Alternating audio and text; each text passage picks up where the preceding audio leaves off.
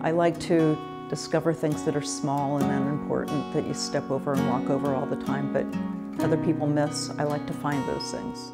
It's almost like when I paint it, I'm there.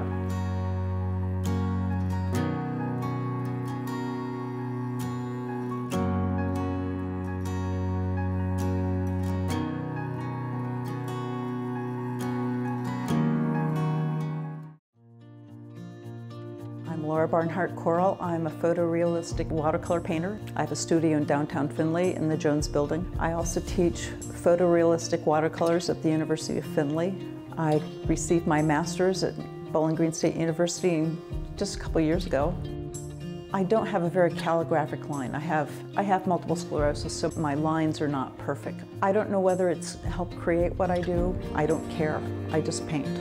Some people think that Ohio is featureless because it's flat. Well, I find beauty in that flatness, and I think it's exciting. I like people to see the things that they normally step over and walk over. I don't care so much about my paintings as much as I want them to learn how to see and, and pause.